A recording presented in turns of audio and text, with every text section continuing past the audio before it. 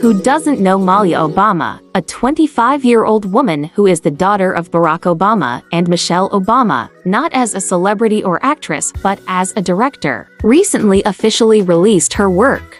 Malia Obama just premiered a short film at the Sundance Film Festival. Malia directed and wrote The Heart Herself, which tells the story of a mother's relationship with her son. Malia Obama changed her name to Malia Ann as a professional name.